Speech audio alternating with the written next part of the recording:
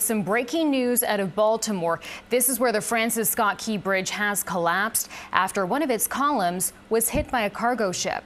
The Baltimore City Fire Department says it is unsure how many vehicles were on the bridge when this happened, but there was a tractor trailer on it.